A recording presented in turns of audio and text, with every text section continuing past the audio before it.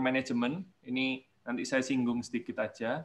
Terus bagaimana kita ngedit dan terakhir ngeprint, mencetak. Jadi mencetak itu eh, kalau salah satu fondasi dari ini eh, salah, ya sudah salah printnya, printnya nggak akan maksimal gitu.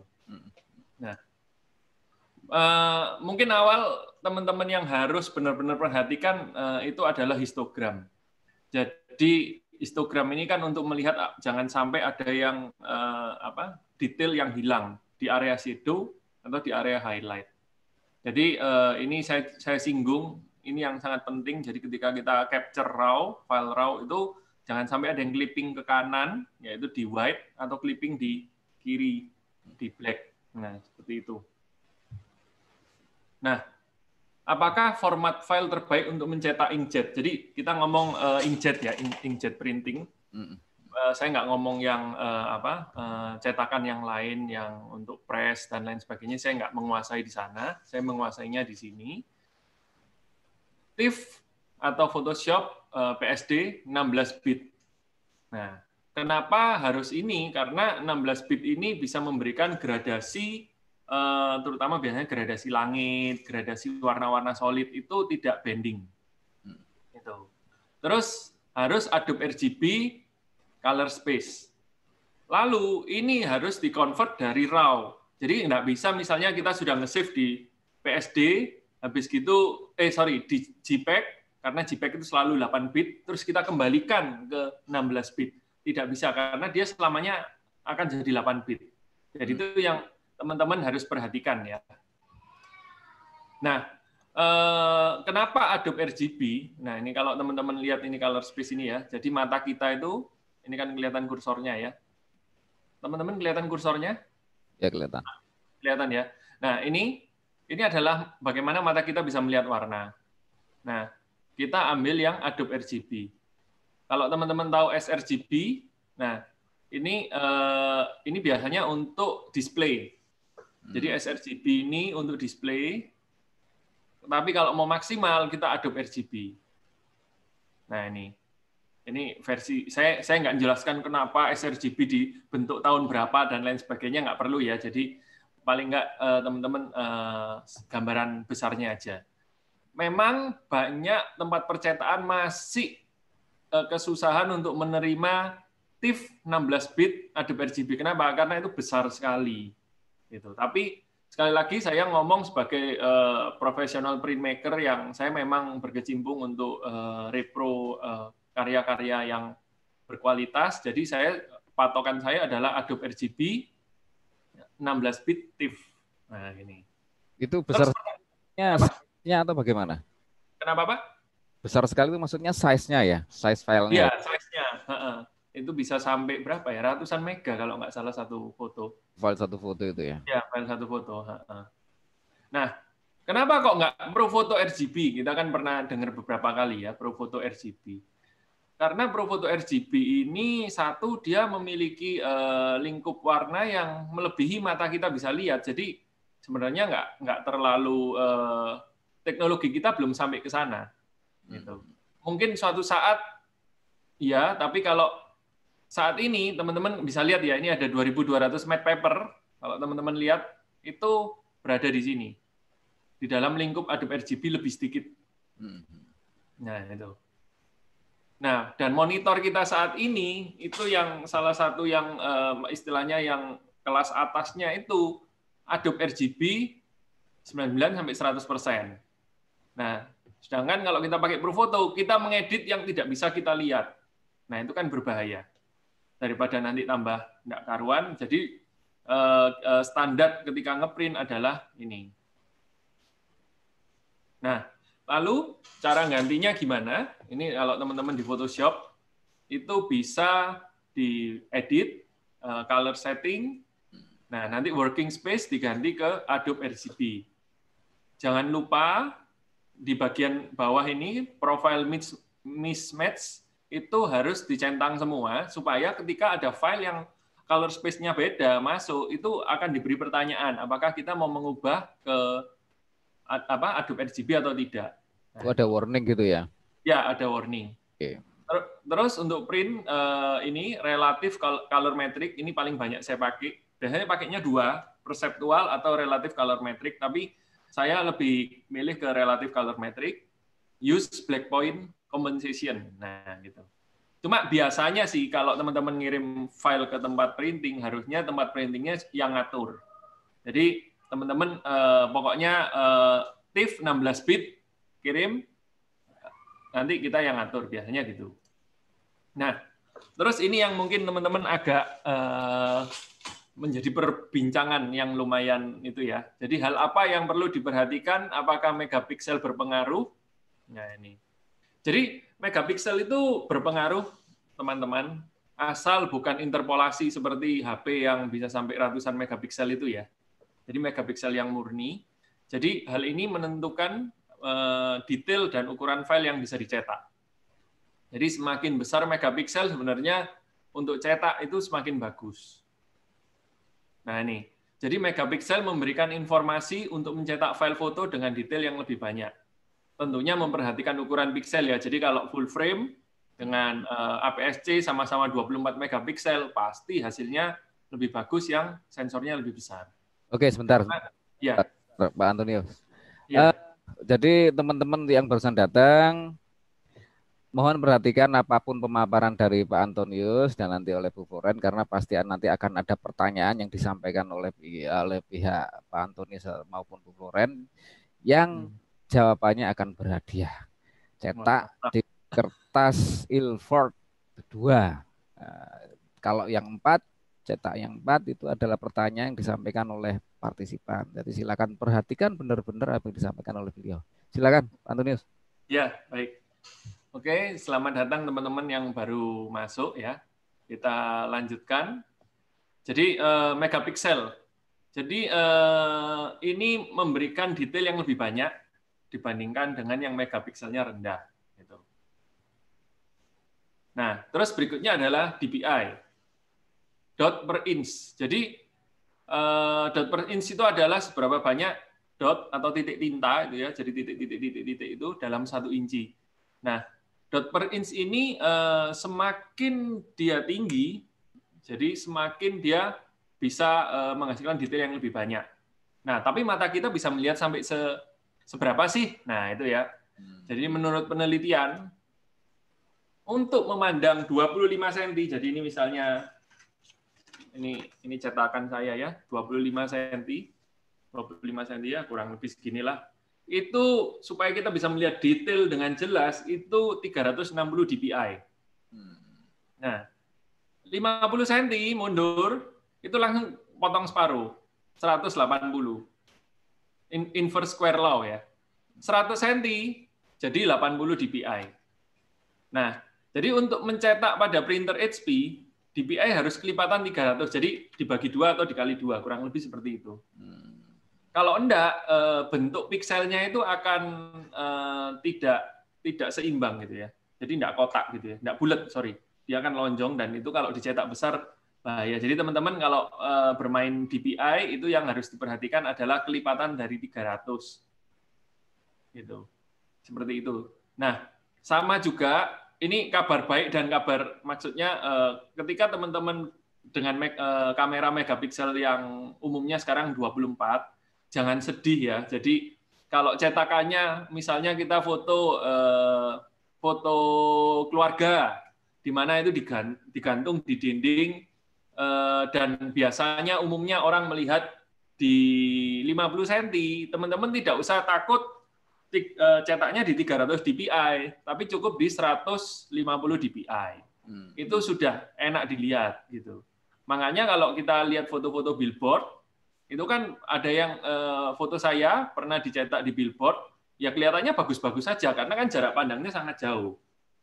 Gitu. Hmm. Tentunya mungkin cetaknya sekitar 72 atau mungkin lebih bawah ya mungkin sampai 30 gitu di uh, eh, DPI seperti itu. Itu. Itu efeknya apa kalau seandainya uh, di ya, ini katakanlah jarak pandang 100 cm kemudian DPI-nya hmm. dinaikkan itu itu yang efeknya apa kira-kira? Kalau misalnya jarak pandang 100 cm terus DPI-nya 300 gitu ya, Om. Oh iya, kira-kira gitu. Uh, ya sebenarnya enggak di mata kita nggak kelihatan akan terlihat sama seperti jadi misalnya ada dua cetakan nih.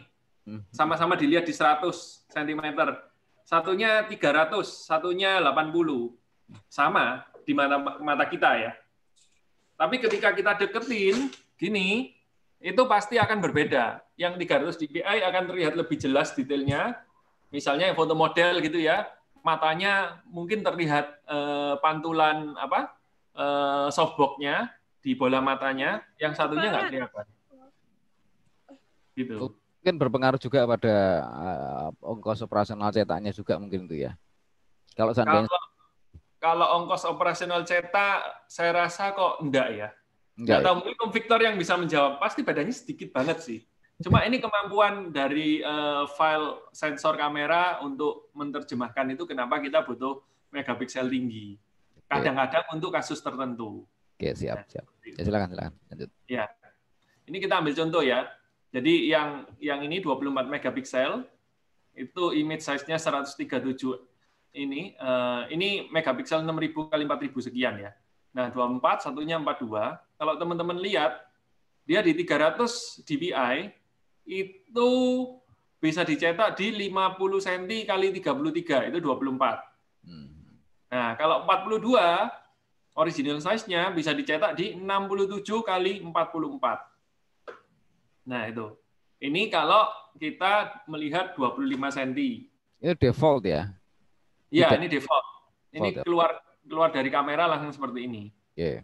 Nah, eh, nah ini juga saya ajarin cara resize walaupun sekali lagi biasanya printmaker-nya yang yang atur resize.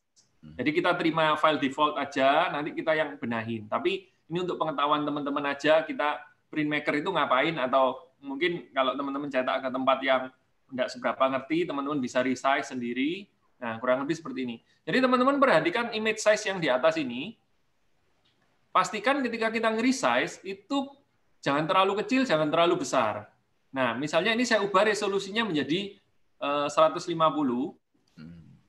tentunya eh, width sama height-nya juga naik.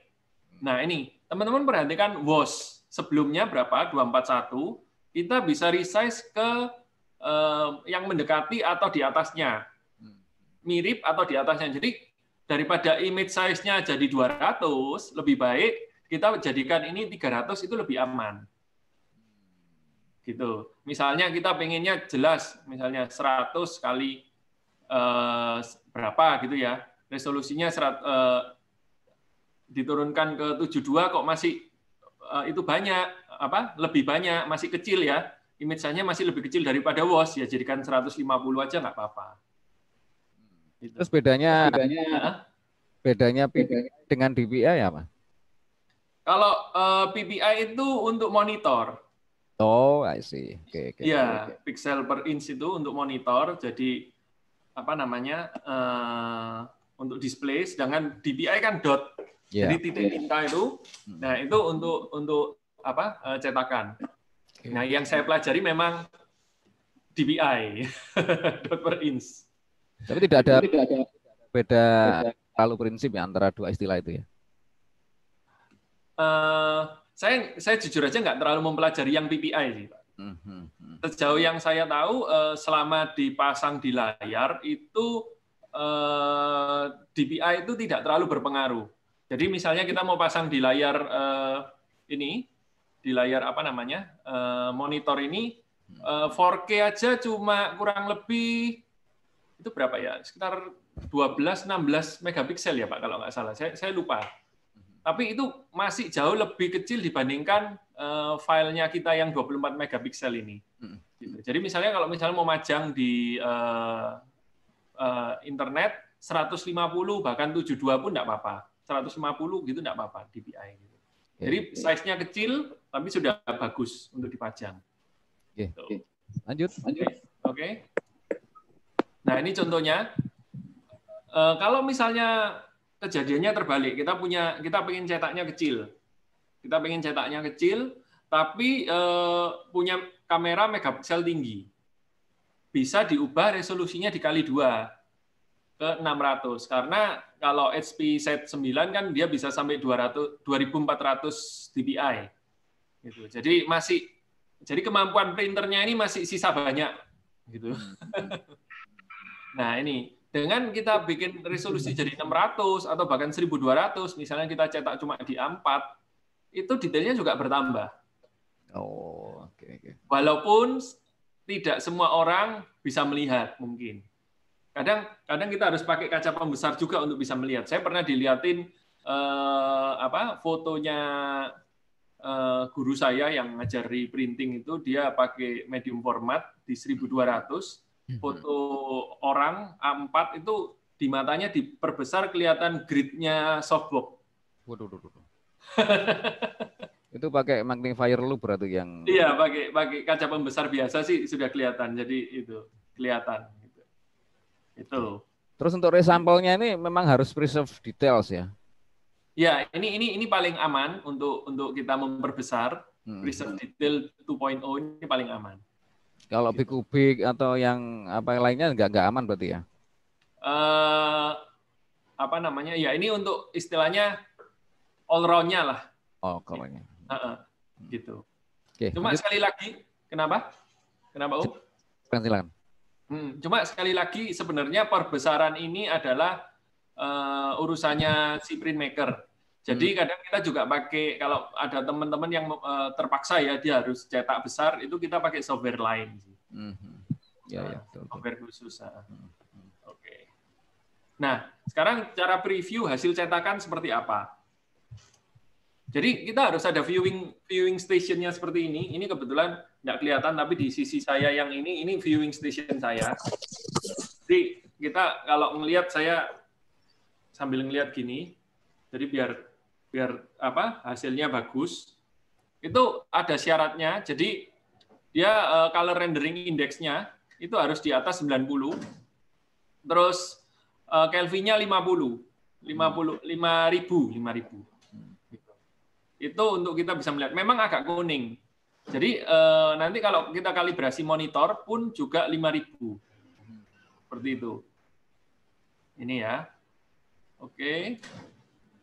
Jadi kalau di apa namanya? Di dunia printing inkjet, ya kita ngomong inkjet ya. Jadi paper itu sangat berpengaruh. Jadi kita paper yang bagus, kenapa ada paper yang bagus sekali, harganya mahal dan ada paper yang biasa, itu eh, itu yang menentukan eh, bagaimana tinta bisa terserap, bagaimana tinta warnanya bisa benar-benar ter translate ya, ter, terjemahkan dengan baik. Seperti itu. Ini saya kasih contoh beberapa contoh. Oh ya, sebelumnya jadi gini. Eh, mungkin kita beberapa orang uh, agak salah kaprah bahwa kita yang menentukan jenis paper. Tapi sebenarnya foto yang menentukan paper. Apa yang dimaksud foto yang menentukan paper? Jadi ada foto yang dia cahayanya soft, uh, soft light, bukan harsh ya. Itu kita pakai paper jenis matte contohnya. Atau sebaliknya, foto yang banyak detailnya, foto yang banyak ukiran, foto dengan harsh light, dengan kontras, itu pakai yang satin atau gloss. Gitu. Jadi sebenarnya karakteristik foto yang menentukan kertasnya. Seperti itu. Ini saya kasih contoh ya.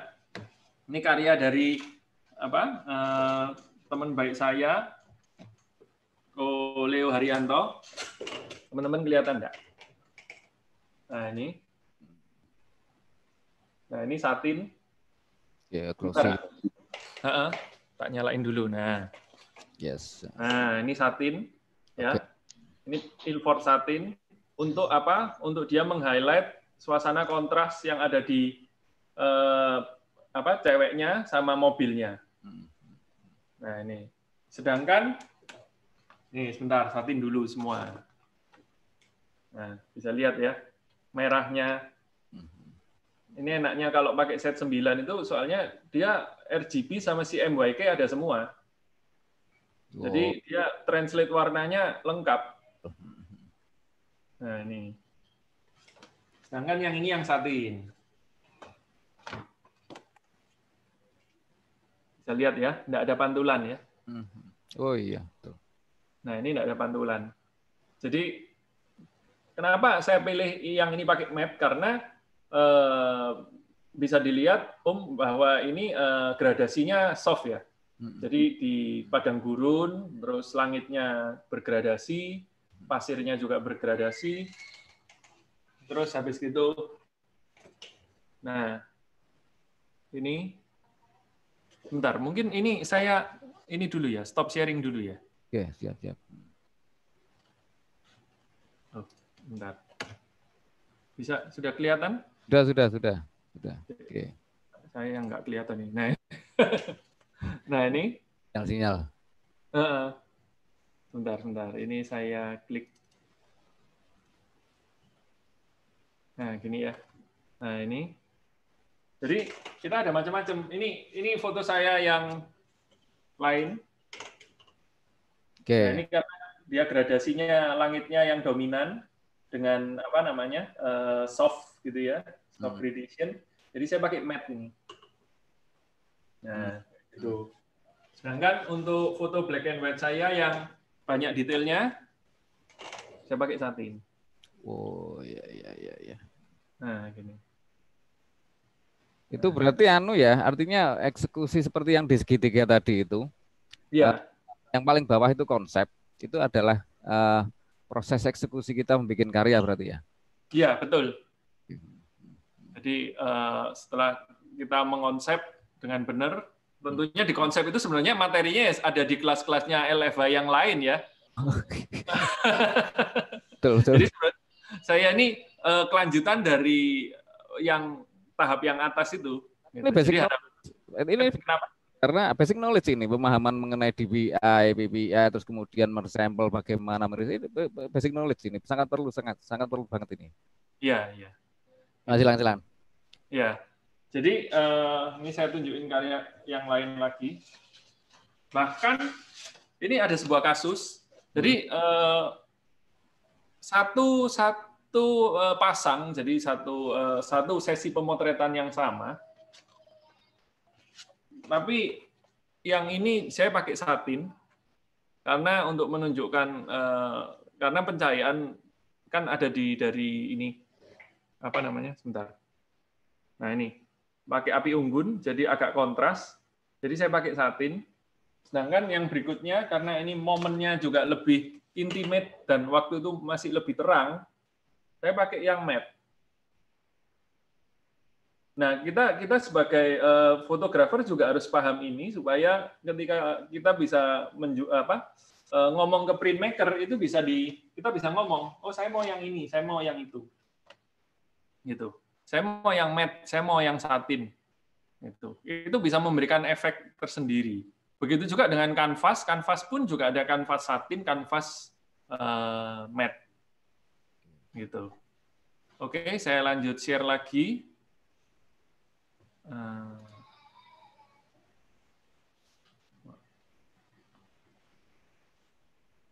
Nah. Oh, sorry. Nah, jadi dua hal yang harus terkalibrasi itu adalah monitor dan kertas. Kalau monitor saya nggak nggak usah ngomong banyak karena sudah banyak materi lain yang bilang tentang monitor, gitu ya. Tapi ada satu hal yang kita lupa untuk kalibrasi itu kertas. Jadi bukan printer. Jadi selama ini pemikiran kita agak agak salah ya. Jadi waktu saya belajar dari uh, guru saya uh, di Singapura waktu itu, uh, apa dia bilang gini, printer itu adalah sebuah alat yang sangat akurat. Kalau kita minta red merah nomor 9, dia pasti akan keluar merah nomor 9. Kita minta biru nomor 7, dia pasti keluar biru nomor 7. Masalahnya, paper ini, sebutlah paper matte dan paper satin, itu punya daya serap dan daya menerjemahkan warna yang berbeda. Ya. Nah, itulah sebabnya kita harus pakai mengkalibrasi paper ini. Oh. Gitu. Jadi yang dikalibrasi namanya papernya bukan printernya. Gitu. Terus untuk untuk keperluan uh, dua jenis uh, kertas berbeda itu berarti kalau misalnya kayak Mas Anton ini di arsitek gitu ya. Cara yeah. pakai kertas yang gimana berarti? Kalau foto arsitektural Hmm. Kalau foto arsitektural ya sekali lagi kembali ke jenis jenis apa fotonya, Om. Jadi kalau fotonya dia cahaya samping, saya kebetulan enggak enggak ada ininya contohnya yang arsitektural. Tapi sebutlah yang paling gampang kan sebutlah misalnya saya seperti foto yang di sini ini, ini sudah pasti saya pakai matte. Walaupun di sini banyak detailnya, tapi eh, dia banyak apa eh, gradasi softnya kan di atas langit ini, gitu. Yes. Sedangkan kalau misalnya saya foto rumah klasik, saya tentu pakai yang satin, okay. biar lebih terlihat uh, muncul. Oke, okay, siap, siap. Belum lagi nanti ada lagi kalau black and white, umumnya lebih ke arah kuning. Itu pun kalau dia tema-temanya lebih ke natural, lebih ke apa uh, jadul gitu ya. Tapi kalau kita mau ngomong modern, dia lebih ke metalik nanti. Jadi bagaimana kita bisa memilih uh, tergantung dari kebutuhan. Siap, siap, siap. Nah, gitu. Nah, ini salah satu enaknya kalau pakai HP Set 9 ini. Makanya salah satu alasan kenapa saya ambil ini kan saya stop sharing yang ini. Kita lihat. Nah, bentar. Ininya saya full full screen soalnya. Oh, pantas. Ya. Nah, ini. Oke. Jadi enaknya adalah kita bisa langsung keluar. Tuh. Oh. Ini, ini bisa ini embedded spektrofotometer. Jadi untuk saya mengkalibrasi setiap warna. Jadi kalau matte saya kalibrasi dulu, satin saya kalibrasi dulu. Oh, ini ini kalau yang satin. Oh. Dan akurat, enak langsung jadi. Terus kali alat-alat kalibrasi kertas itu berapa? Nah, itu yang alat yang tadi itu, yang ini, yang apa namanya? Uh, bentar, ini saya share. Yang ini, yang atasnya.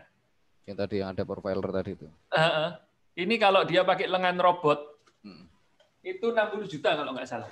Wah, kan. Jadi ya. Saya sebenarnya ini hampir mirip-mirip beli printer atau beli spektrofotometer dapat printer ya. Karena yang yang ini lengan robot juga kan. Jadi saya tinggal masukin paper, saya kali dia kali sendiri gitu. Di printer itu. Printernya tidak ada fasilitas. Kenapa? Printernya tidak ada fasilitas. Printer yang mana? Di printer tidak ada fasilitas uh, kalibrasi ya. Built-in itu tidak ada ya? Tidak, tidak semua printer punya. Oh. Kalau HP punya. Ya, ya. Ini ya, kan ya. kebetulan gambar ini yang uh, generasi lama, saya 32. Yang set 9 juga ada. Hmm. Yes, gitu. Yes, yes. Iya. Jadi makanya uh, dan dia uh, apa? dari uh, spektrofotometernya dari X-ray juga, X-ray Taiwan. Ini dari yang ini. Nah ini, gitu. Oke oke oke. Jadi oke, oke, oke. Uh, kurang lebih itu. Tapi sebelum saya berhenti, saya pengen memberikan ya sedikit inspirasi buat teman-teman bahwa di dunia fine art itu uh, sebuah dunia yang bisa kita apa istilahnya menurut saya ya menurut saya untuk kita teman-teman di Indonesia itu sangat bagus untuk kita kelola kita olah kita kita pakai ya tapi ini kebetulan hmm. contohnya sorry contohnya uh, di di luar Indonesia waktu itu jadi foto-foto seperti ini ini jadi ini di Venice waktu itu ataupun foto-foto detail seperti ini itu bisa dipakai untuk dijual jadi bisa kita olah kalau kita bisa mengolah dengan baik, kita bisa menjual ini. Nah, ini. Yang nantinya akan jadi seperti ini. Sama jadi untuk pajangan sekali tidak sekali tidak. Ternyata sangat komplit. Iya. Jadi kita bisa bisa jual untuk uh, artwork ya. Dan sebenarnya uh, apa penjualan yang paling besar itu bukan foto-foto dari Eropa kalau saya, tapi foto-foto seascape, landscape dari Indonesia. Oh, ya sih.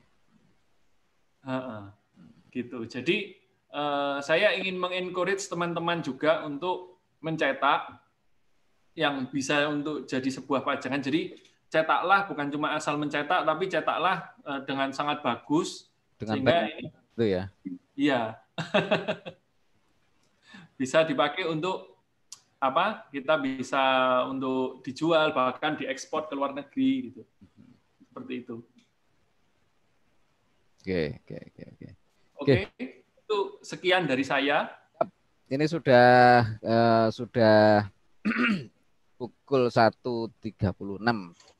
Oke. Ya. Informatif Pak Antonius uh, Bapak paparannya mengenai ya, terima kasih uh, bagaimana mengelola kualitas resolusi terus terus sampelnya juga tentang DPI, harus mengkalibrasi terus ya. mencocokkan karya dengan kertas. Ini saya kira nanti teman-teman uh, akan akan akan uh, menambah wawasannya mengenai itu. Dan sebelum uh, saya berpindah ke Bu Floren, saya sampaikan lagi bahwa hari ini kita ada fasilitas 6 uh, cetak, 4 itu untuk diberikan kepada para partisipan yang mengajukan pertanyaan berkenaan dengan apa yang telah dipaparkan. Dan yang dua, eksklusif, Ilford itu khusus untuk partisipan yang menjawab pertanyaan yang disampaikan oleh pihak HV. Dan hmm. setiap Selasa kami akan memberikan free 6 cetak kepada Anda semua. Oke, waktu uh, untuk selanjutnya saya persilakan Bu Foren untuk menyampaikan paparan. Oke, terima kasih. Uh, pasti bermanfaat sekali nih ya, karena memang uh, Anton ini tadinya berangkat dari customer HP hmm. karena uh, beliau ini suka banget ngulik mesin, akhirnya jadi uh, jadi ada ada beberapa kolaborasi seperti kayak training atau webinar ini lama-lama jadi kita kolaborasi nih berdua gitu loh. Customer ya kan. Malah jadi partner. Iya, betul. Nah, uh, kalau untuk dari sisi HP sendiri sebenarnya sebelum saya masuk ke produk, saya cuma mau bilang uh, ada banyak fotografer karena Anton ini kan juga berangkat dari fotografer ya. Hmm. Kalau saya berpikir begini, bagi seorang fotografer itu kamera itu udah pastilah modal utama ya. Hmm. Nah, orang banyak uh, bisa bawa apa rela untuk beli kamera bagus-bagus, mahal-mahal ya kan. Uh, udah ngambil fotonya jauh-jauh, kadang-kadang sampai keluar pulau, ya kan ada beberapa fotografer tuh sampai ke luar negeri juga gitu loh buat ngambil konten atau atau atau uh, satu objek foto. Nah, proses editingnya juga tadi ini Anton ini baru-baru memaparkan seper kayaknya seper sepuluh pas seper lima belas seper dua puluh dari ilmunya mengenai masalah editing foto uh, udah editnya capek-capek ya kan ngambil gambar ngambil objeknya juga capek-capek. Kalau cuman bisa dilihat di layar monitor doang kayaknya kurang afdol ya. Bagi seorang fotografer itu kan foto atau objek foto itu kalau udah diambil itu kayak satu karya artis gitu ya. Nah akan lebih uh, puas lagi buat seorang fotografer tuh kalau sampai bisa dicetak gitu. Nah, even lebih iya pastilah. Jadi nggak cuma diliatin di layar monitor komputer atau laptop aja atau cuma diliatin di, di layar monitor kamera. Kayaknya kurang afdol gitu. Tapi begitu dicetak bisa sampai dipajang gitu ya. Uh, apalagi kalau sampai dibisnisin uh, apa udah moto dan nyetak untuk dikomersilkan itu akan ada lebih kepuasannya lebih lebih besar kalau saya bisa bilang. Hmm. Nah, jadi kalau kita bicara masalah fotografi memang sangat kompleks. Kayak tadi Anton juga sendiri bilang, hasil cetak print satu foto itu nggak melulu cuman dari medianya aja. Satu dari dari master file image gambarnya sendiri. Lalu yang paling unik tadi saya baru dengar nih dari Anton bahwa sebenarnya yang menentukan kertas itu bukan orang, bukan tukang cetak atau bukan si fotografer, tapi gambarnya sendiri image fotonya itu sendiri yang yang uh, setiap gambar itu karakternya berbeda-beda. Jadi tidak bisa dicetak di dalam satu jenis kertas sama untuk semua objek foto gitu. Uh, jadi uh, memang kalau bicara masalah foto ini kan seninya, ya. art. Art itu memang kompleks sekali. Nah mungkin kalau kita mau masuk ke uh, setelah tadi sudah ngomongin masalah editing foto sampai ready to print, kita mau masuk ke dalam uh, tahap fase printingnya. Nah, sebenarnya mungkin fase printingnya gampang.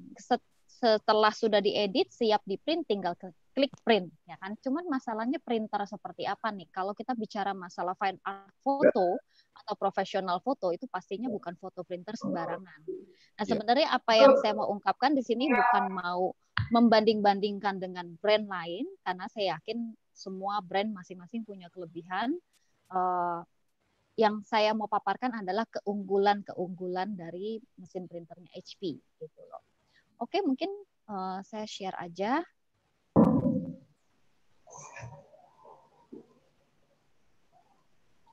Ya. Udah bisa lihat semua? Udah. Oke. Jadi mungkin sebelum saya memperkenalkan diri ada satu video yang saya mau uh, share sharing ya.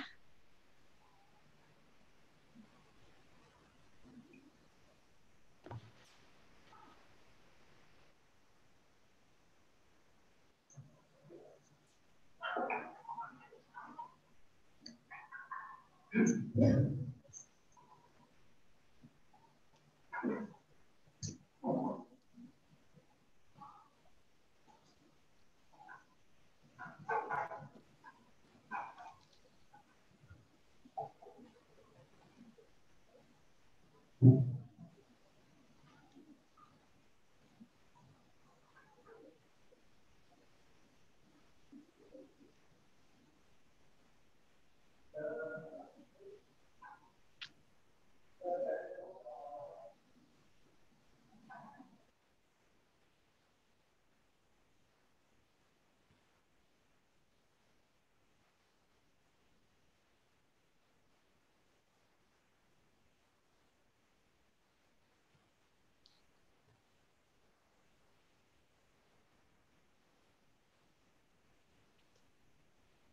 Oke, okay. tadi udah lihat video mengenai produknya. Sekarang kita kenalan lebih jauh lagi. Uh, saya Florence Irawan, uh, product manager untuk HP Design Jet Printer. Jadi kalau tadi Anton ada sebut-sebut Z9 itu itu adalah salah satu tipe produk dari uh, produk line up-nya HP Last Format Printer. Nah, uh, untuk di Indonesia, di HP Indonesia saya yang bertanggung jawab untuk memanage uh, produk ini sampai ke market.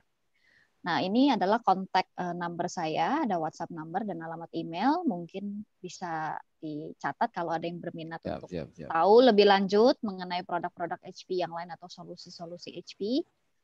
Nah, bukan kepedean ya, tapi siapa tahu ada yang butuh gitu ya. Oke, sekarang kita masuk ke uh, produk. Mungkin ini ada kita sebenarnya ini kan jam-jam agak krusial nih siang ya. Jam uh, menjelang jam 2 siang ya kan. Mungkin kalau yang puasa tadi pagi bangun subuh karena harus sahur ya kan. Ini mungkin saya nggak mau terlalu banyak teori kita banyak nonton video aja. Yes, jadi uh, uh, mungkin ini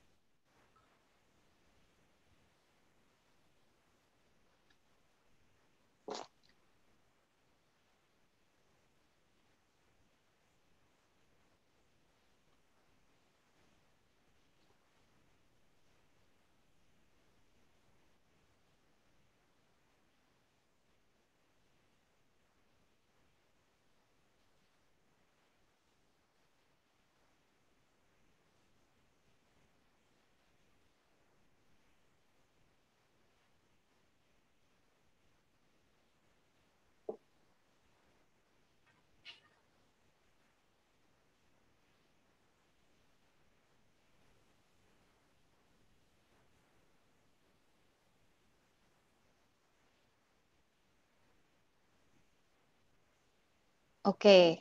Ibu Floren untuk audionya kok tidak keluar ya untuk videonya? Oh, nggak keluar? Apa bisa dicek eh, settingan Zoom-nya mungkin? Jadi tadi nggak ada suaranya? Iya. Oh.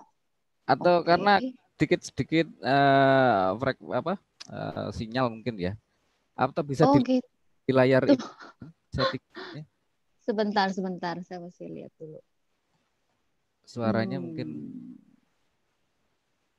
Gimana caranya kalau tadi Anton nggak ada setel video ya Ton? Tidak ada, tidak ada. Pak, Pak Anton tidak ada setel. Ya, yang, ada. Yang oh. yang aja dan kami sudah mem, apa? tadi itu sudah keluar suara. Cuman ini nggak tahu mungkin settingan di zoomnya Bu Floren yang mungkin sedikit perlu di, ada perubahan. Nggak konek sama sekali untuk uh, ini videonya. Mm, mm, mm. Saya nggak tahu juga ini di mana.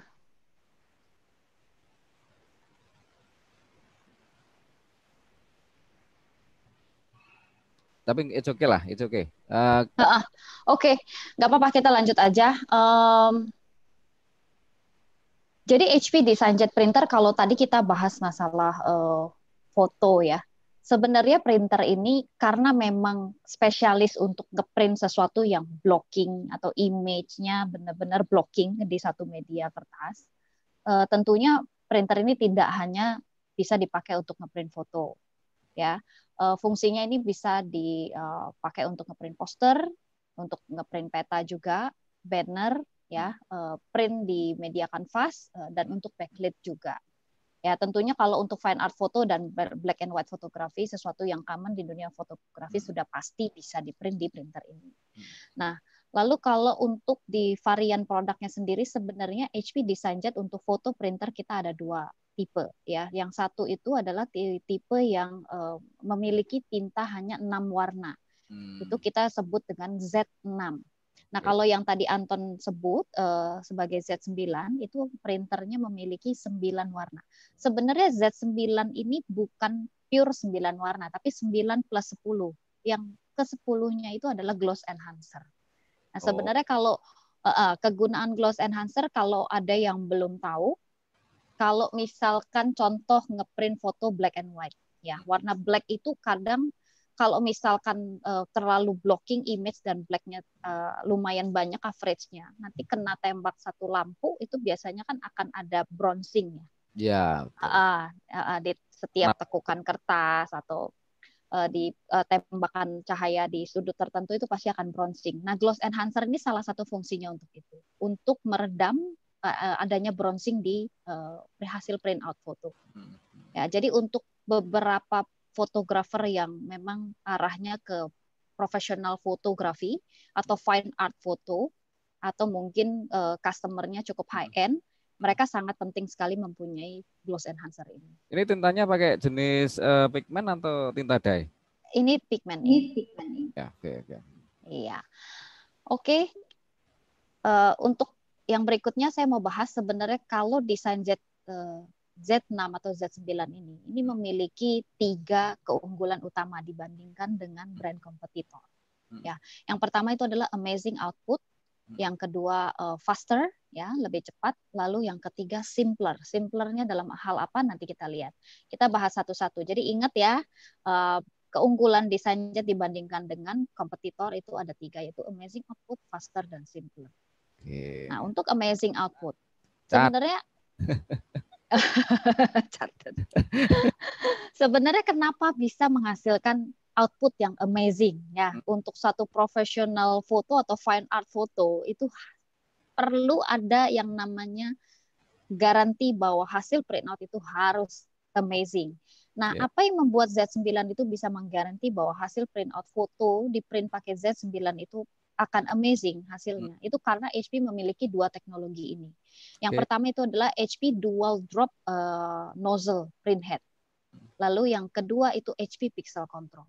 Nah, hmm. untuk HP dual drop uh, nozzle print head itu mungkin kalau yang pernah dengar printer itu tinta sampai disemprot ke satu media kertas itu pasti ada corongnya ya untuk keluarin tinta.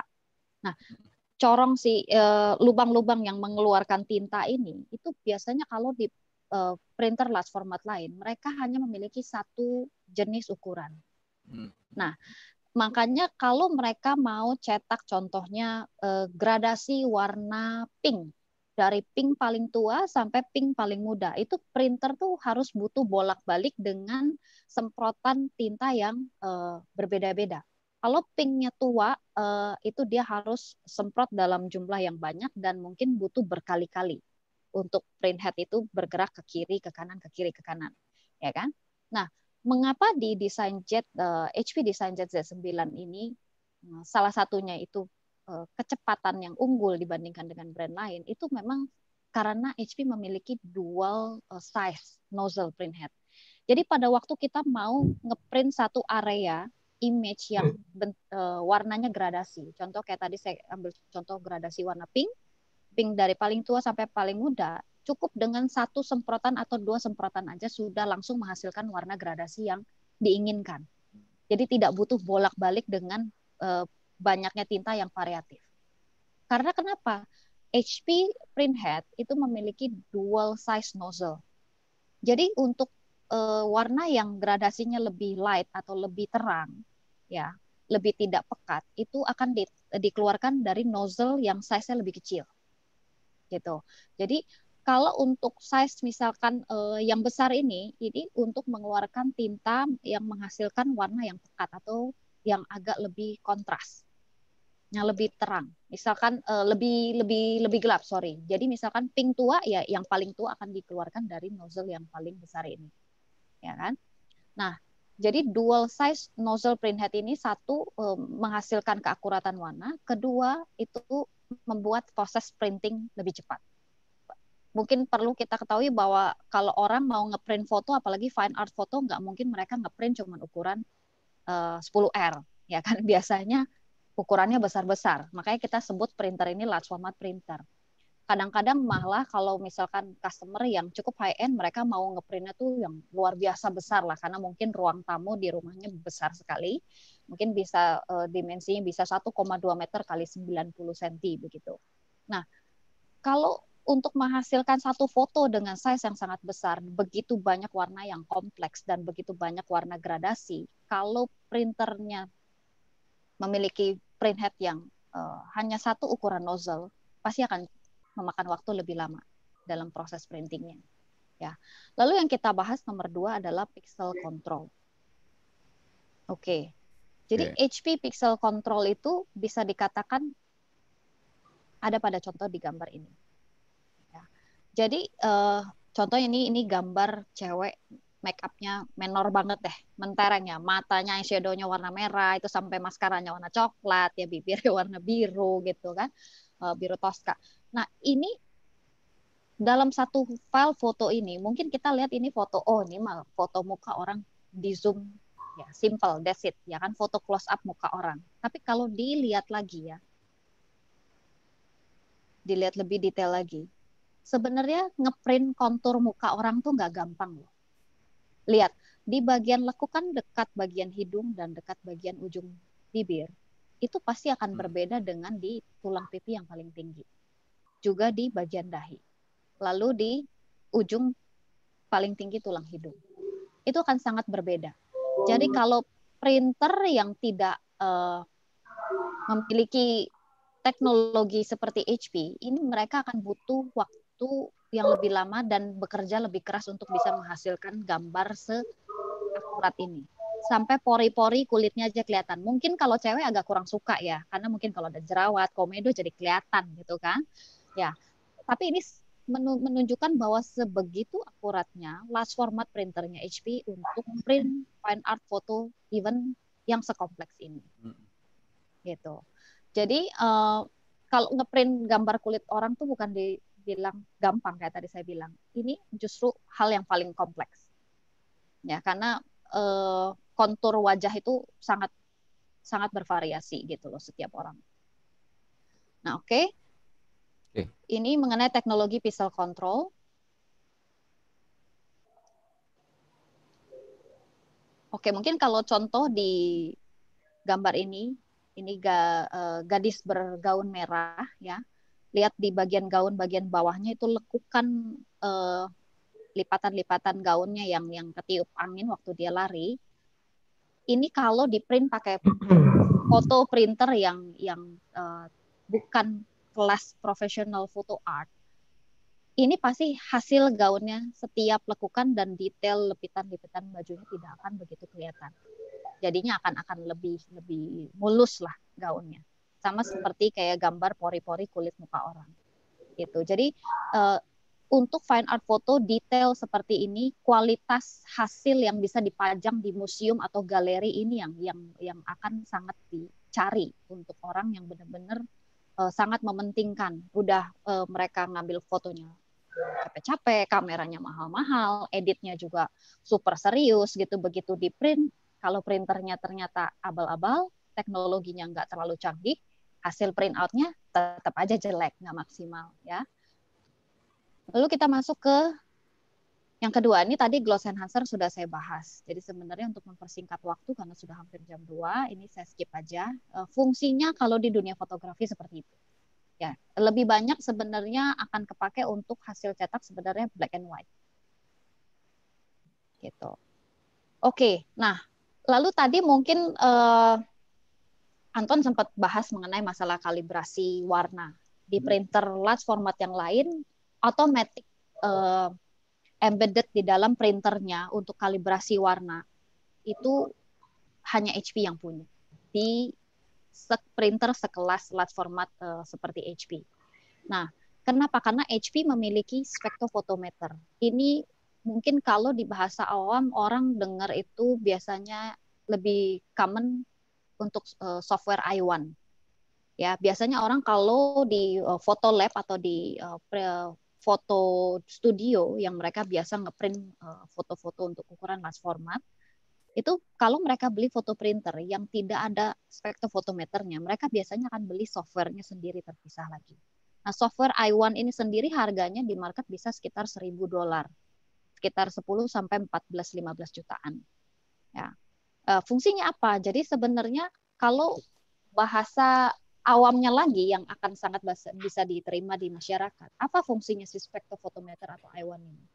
Ini mungkin secara summary bisa saya katakan apa yang dilihat di layar digital monitor laptop atau komputer Anda waktu uh, edit fotonya itu yang akan kita lihat waktu foto tersebut di print.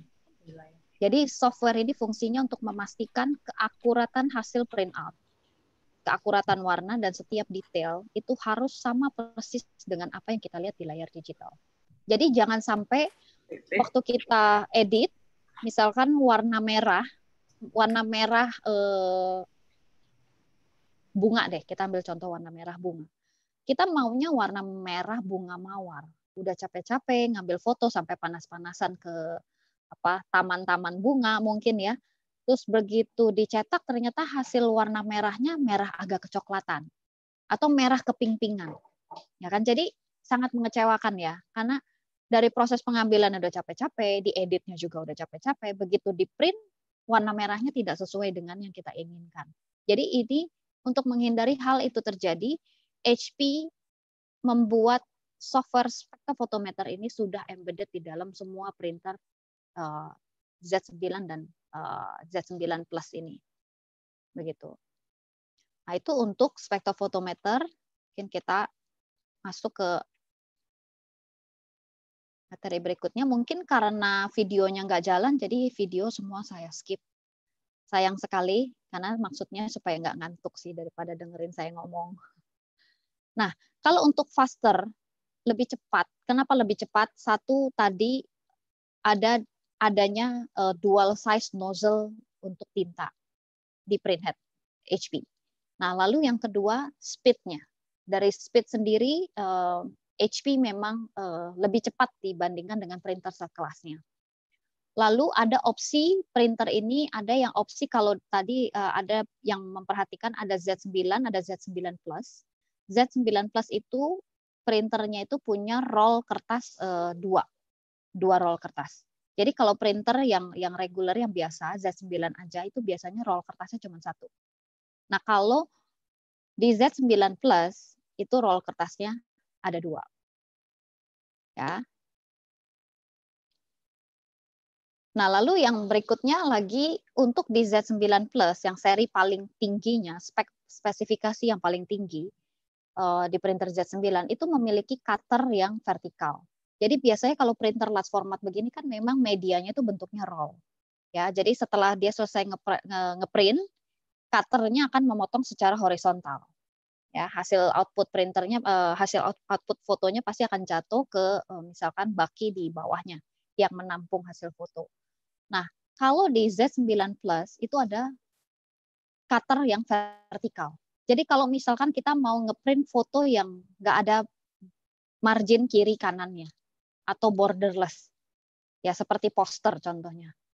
Itu kan kalau setelah dipotong secara horizontal, kita mesti taruh lagi di meja, pinggiran kiri kanannya kita mesti potong manual.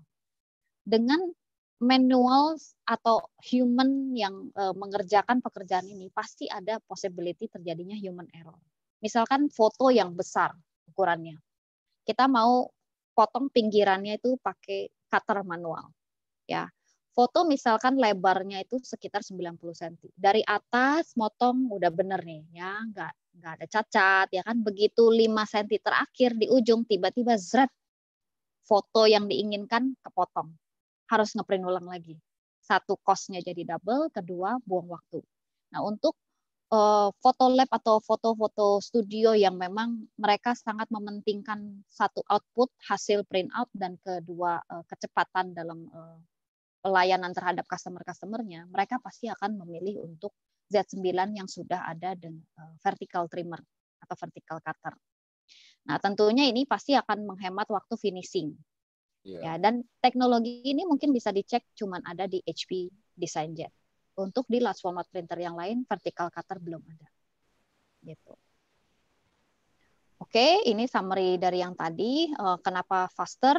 Itu satu dari sisi teknologi HDNA, lalu kedua eh, ada dual role, yang berikutnya eh, finishing prosesnya. Lalu secara teknologi speed printingnya juga paling cepat. Nah, simpler. Kenapa simple? untuk seorang yang awam yang belum pernah mengoperasikan mesin large format, begitu diberikan printer ini suruh pakai, biasanya satu kali dua kali kita training untuk uh, diajarin cara pakai printernya, mereka pasti akan langsung bisa. At least minimal untuk dari proses ngeprint image yang ada di laptop sampai keluar output printingnya itu pasti bisa. Ya kalau mau yang level skalanya cukup lumayan uh, pro atau tukang ngulik punya kayak Anton, nah itu mungkin memang harus belajar lebih banyak sama orang-orang yang uh, kayak Anton begini, suka ngulik mesin, ya kan? Nah, kalau sim simple dari sisi uh, satu penggunaan printernya sendiri, kedua, kalau beli printer DesignJet itu HP kasih beberapa software gratis. Yang pertama itu adalah software untuk bikin poster. Nah, kalau tadi uh, diingat bahwa uh, fungsi printer uh, desain jet Z9 bukan cuman buat ngeprint foto, tapi ngeprint banner, ngeprint poster, backlit, ya kan, canvas, ya. Jadi bisa ngeprint berbagai macam uh, image uh, gambar dan di banyak sekali varian media. Nah, aplikasi untuk desain poster ini HP berikan gratis. Ada ratusan template poster yang sangat bagus-bagus sekali, tinggal diedit uh, tulisan sama uh, misalkan uh, dikasih uh, waktu atau dikasih tambahan-tambahan uh, dekorasi yang lain gitu. Tapi templatenya bawaan sendiri dari HP Poster uh, Application Center ini sudah sangat banyak sekali variannya. Nah lalu kalau di sini lihat ada poster, banner, kanvas ya, city light, uh, yang berikutnya yang saya mau bahas adalah HP Click. HP, HP Click ini satu software yang juga gratis uh, bawaan dari mesin. Ini kalau boleh dikatakan fungsinya itu seperti mirip-mirip uh, eh, daminya Photoshop. Jadi versi mininya Photoshop yang uh, eh, HP punya. Jadi kalau misalkan sebelum ngeprint dari beberapa gambar kita mau nesting, jadi dua tiga tiga foto kita print jadi satu file gitu satu gambar itu bisa pakai HP Clip. Lalu mau diedit ya kan masalah kontras, uh, tajaman dan segala lain-lain bisa diedit di HP Clip. Lalu margin kiri kanan ya kan ukuran foto semua bisa diedit di HP Click ini. Jadi beli printer sudah dapat dua software gratis. Oke. Nah, lalu kenapa HP Design Jet kalau untuk award uh, tidak diragukan lagi karena tadi vertical cutter aja uh, kompetitor belum punya. Lalu du dual size uh, nozzle printhead itu juga cuman HP yang punya. Ya, lalu memberikan software gratis seperti uh, aplikasi poster dan HP Click untuk mini daminya Photoshop itu juga cuman HP. Ya, saya yakin brand-brand lain juga mereka memiliki keunggulan-keunggulan sendiri, tapi uh, hal-hal inilah yang tadi saya sampaikan merupakan keunggulan HP. Lalu untuk masalah award, uh, kita adalah uh, yang pertama untuk di printer dengan kategori digital color pipeline. Jadi semuanya sudah otomatis dan digital. Contohnya tadi spektrofotometer. Ya, software ini sudah embedded bawaan di HP J9. Lalu yang pertama, so far sampai hari ini belum ada saingan memiliki vertical cutter untuk di large format printing. Lalu best poster app karena uh, tukang bikin poster di print shop print shop pun mengakui begitu mereka buka aplikasi HP poster, mereka mengakui bahwa template poster bawaannya HP sudah sangat cukup lengkap. Ya, variasinya banyak sekali ada ratusan. Lalu most secure printer. Jadi printer ini pun sudah dilengkapi dengan fitur-fitur antivirus bawaan. Jadi jangan khawatir kalau pakai HP Design kalau ada hacker yang mau coba iseng-iseng ngehack ya printernya itu pasti akan otomatis uh, automatically akan di reject dan ditendang lah, di kick out si hacker atau virusnya itu. Dan printernya akan otomatis dia akan reboot, uh, shutdown dan begitu nyala nggak nyala untuk siap operasional hanya akan keluarkan notifikasi bahwa the printer under attack. Jadi sampai si user aware bahwa printer ini mati dulu sementara sampai user mengambil satu actions untuk mungkin restart dan uh, cek networknya. Lalu tiga kali uh, lebih cepat daripada uh, kompetitor untuk printer sekelasnya. Jadi ini demikian uh, untuk produk knowledge dari sisi print, printingnya. Mungkin kalau mau buka sesi Q&A sekalian aja kali ya karena ini juga udah jam 2, Mas Dodi. Jadi begitu teman-teman yang telah disampaikan oleh Bu, Bu Loren.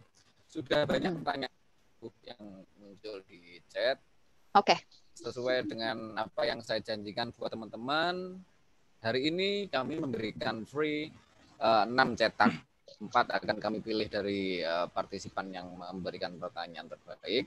Hmm. Terus, kedua, kami berikan kepada partisipan yang bisa menjawab pertanyaan yang disampaikan oleh uh, Bu Floren atau uh, Pak Anton nantinya.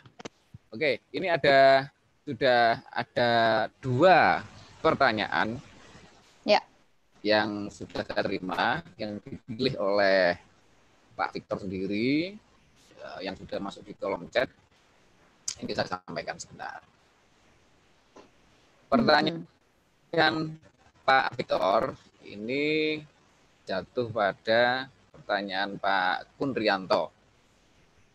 Eh, mohon info untuk hasil cetak ini apakah bisa bertahan lama? Ini yang Iya. Monggo, silakan.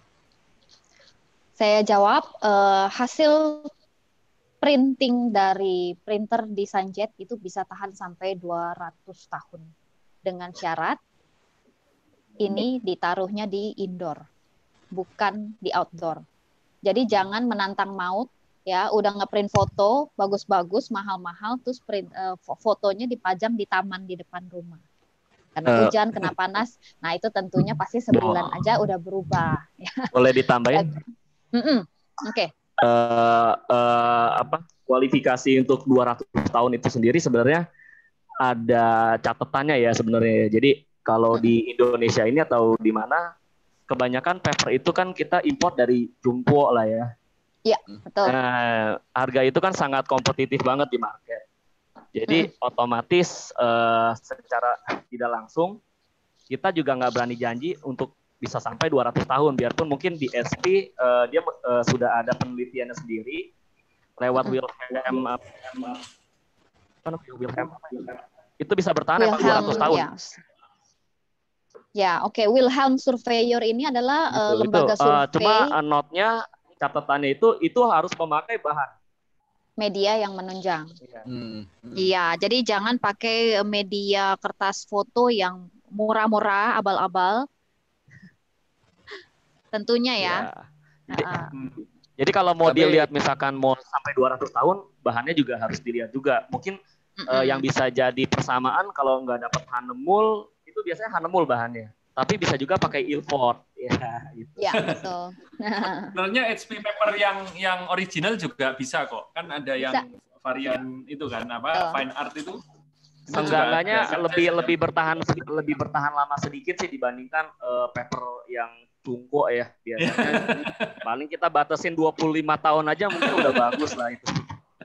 Dua sampai 200 kayaknya enggak, udah karena gini, kalau 200 tahun biasanya memang untuk fine art yang dipajang di galeri atau museum. Nah, tapi hmm, tentunya hmm. orang kalau buat ngeprint, buat ditaruh di galeri atau museum ya pasti kertasnya juga pasti pakainya yang paling hmm. mahal kalau Semua, betul. Hmm. Ya ini sempat sempat ya ini sekedar intermezzo saja. Dulu sempat ada murid saya nanya, e, Om Dodi eh, kalau mau cetak putus supaya apa diapakan ya saya jawab di laminating gitu kan. Sebenarnya laminating itu kan? hanya penambahan aja Mas Dodi, penambahan supaya kalau foto itu kan sangat sensitif banget ya untuk di hasil file yeah. apa di hasil cetaknya sendiri. Khawatir kenapa tangan kita ini kadang suka berkeringat. Iya, nah, minyak. Ketika paper itu kesatu di bagian Depan gini ada. Nah, nanti dia akan akan ada cap jari. Nah, itu uh, kurang bagus, pasti kan kurang elok dilihatnya.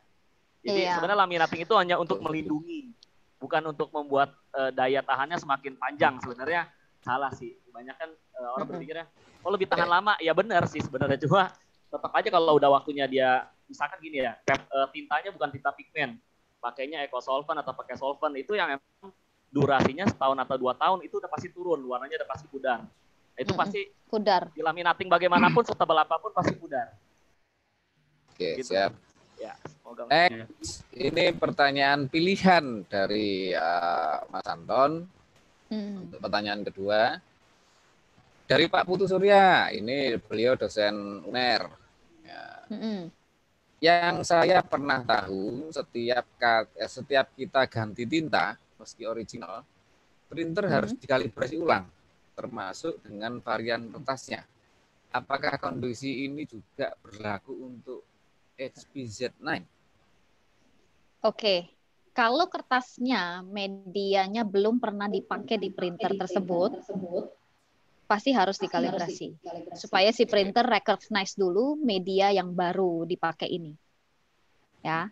Tapi uh, oke, okay, mungkin Pak Victor bisa jelaskan secara teknis kalau dari proses untuk uh, biasanya customer mau ganti tinta sendiri terus uh, reload paper media baru.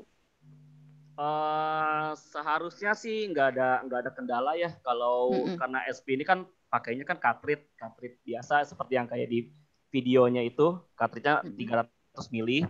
Kalau andaikan ada tinta yang warnanya sudah habis, nah itu tinggal diganti aja, di replace, diganti lagi. Dengan yang baru tinggal colok aja eh, sesimpel itu, mesin itu udah bisa langsung produksi lagi. Bahkan kalau lagi jalan, ketika kita lagi nyetak nih, terus tiba-tiba berhenti dikarenakan tinta sudah habis, kosong. Itu kalau andaikan kita punya cadangan tintanya, tinggal kita pasang lagi, uh, cetakannya lanjut lagi. Jadi nggak nggak gagal. Mm -hmm. Gitu. Mm -mm. Sip.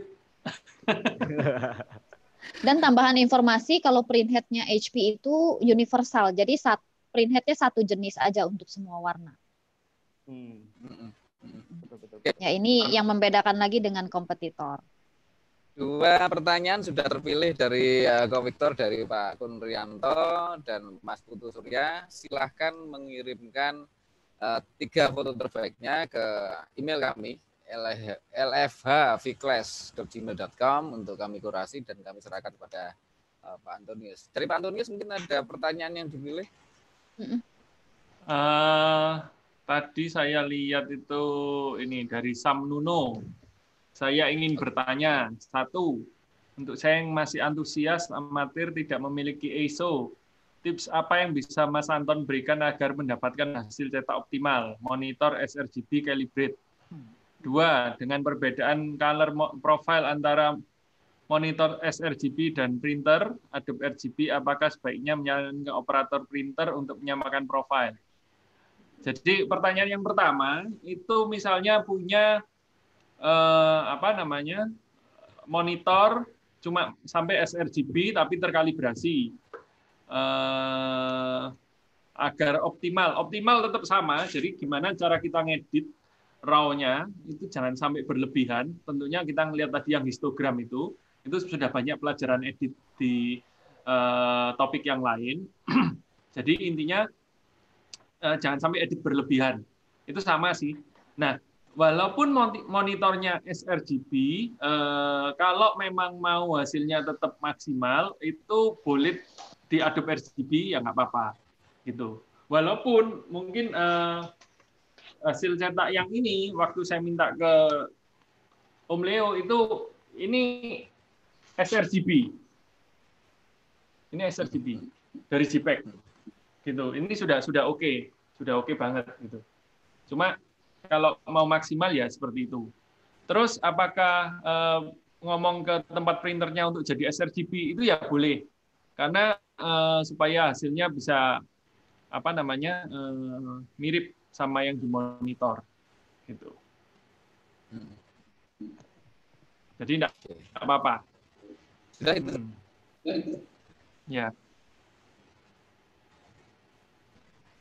Oke. Okay. Oke. Pertanyaan ya. pertanyaan Kenapa? Pertanyaan yang kedua silakan. Pertanyaan yang kedua Sebentar. Ini dari Pasuruan Landscaper, apakah foto Milky Way ada perlakuan khusus untuk printing?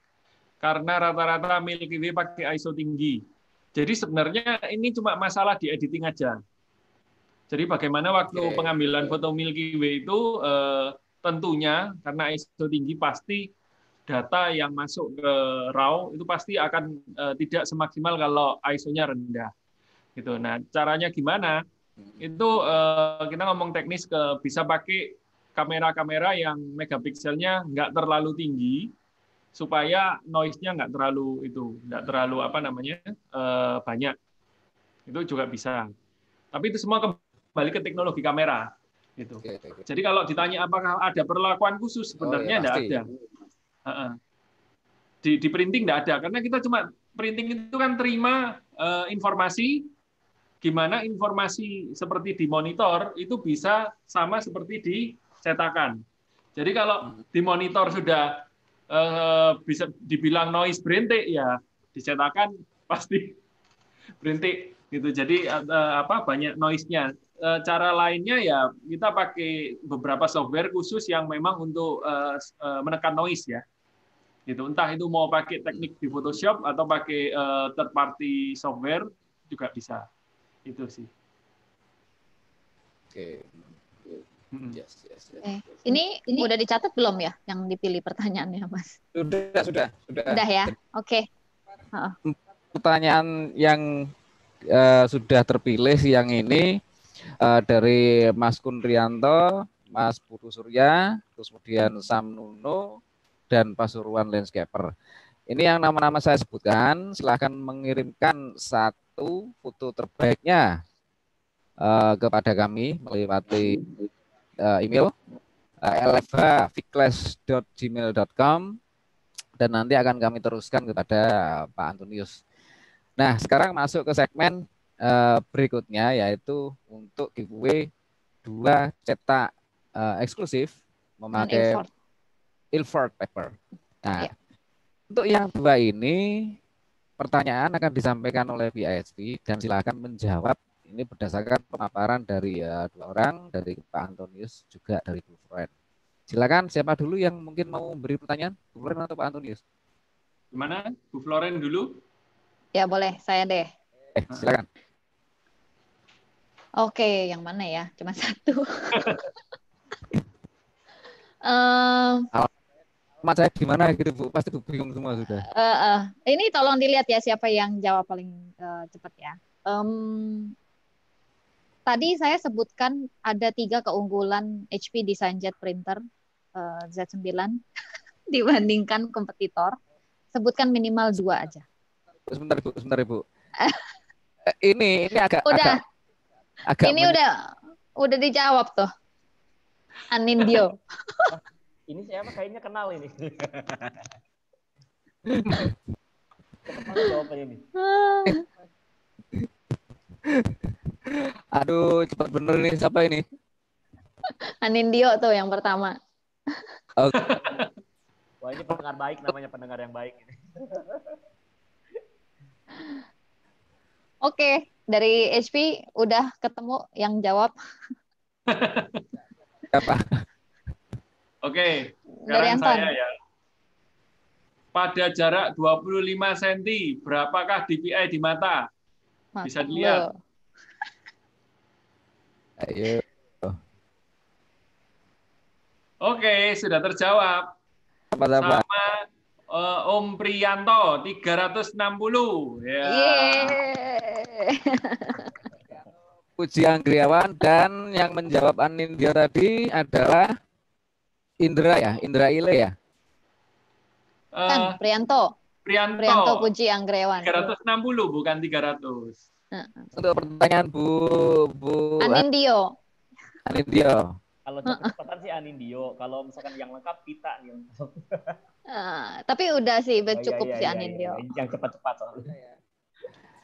Berarti yang menjawab dia tadi ini adalah siapa ini Indra ya, Indra ILE ya. Pri, Prianto. Yang Oh, benar Prianto. 360 DPI. Iya. Pertanyaan pertama, Anindyo. Dio. Dio dan dan Uh, Prianto tadi. Oke, siap, siap, siap, siap. Mas, Mas, eh, Mas Rizmi, monitor. Dicatat. Mas Rizmi, monitor. Eh, sudah kita save mas untuk itunya, untuk Ya, ya, Pemenangnya. pertanyaan udah ya, Mas Prianto dan Anindya ya. ya untuk chat Oh, sudah kita itu. kaki mau silakan ketawa-ketawa jadi nanti jangan dijual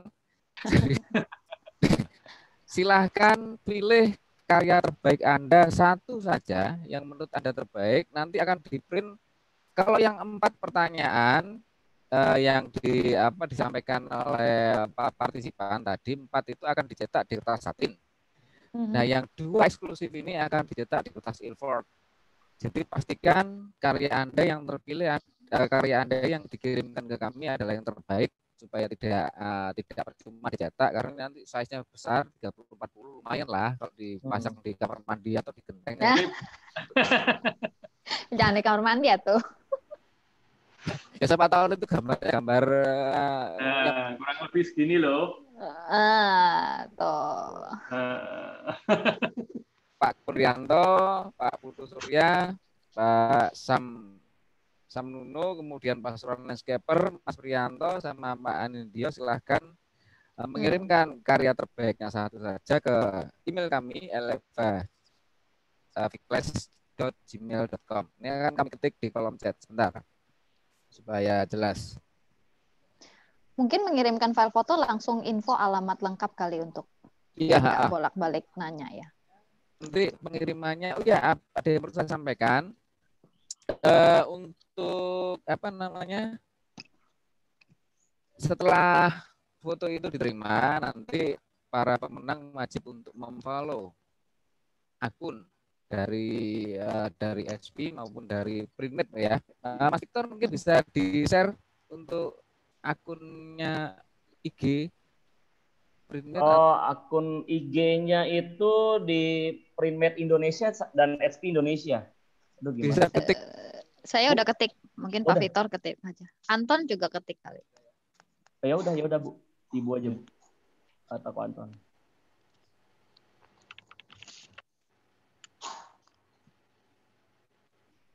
Sama hashtag ya berarti ya.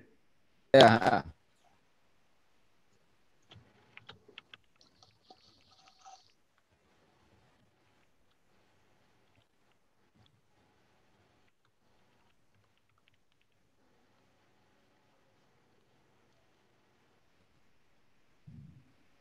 Bentar.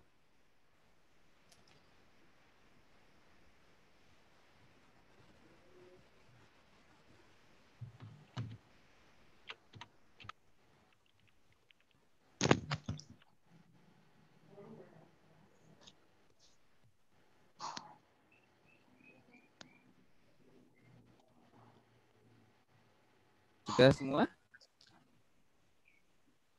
Oke.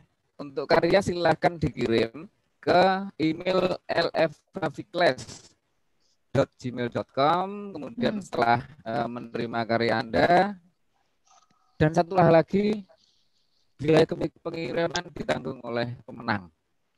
Jadi biaya pengiriman ditanggung oleh pemenang, dicetak oleh Pak Anton nanti dikirimnya pakai tabung. Yap. Pakai tabung ya. Eh, Pak Anton, Tabung, ya, tabung.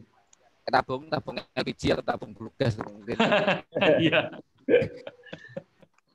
nanti dikirim pakai tabung. Ya, jadi tenang saja, kan kuat dan sampai di alamat. Terus mohon untuk menuliskan atau mengirim alamat eh, Anda ke chat biar direkod oleh eh, tim kami di Titiper. Mas Rianto silakan chat alamat Pak Kunrianto silakan tulis alamat di kolom chat. Mas Samnuno silakan tulis alamat. Eh, itu barusan saya ada chat sih. Eh, Indonesia juga dituin. Eh hashtagnya apa namanya? Eh, apa eh, Instagramnya hashtagnya ada di situ SPZ9 Printmat, SPZ9 Photoprint dan SPZ9 Series. Oke. Terus untuk Pak Anindyo silakan tulis alamat di kolom chat. Jangan lupa. Pak Suruhan Landscaper jangan lupa untuk tulis alamat juga.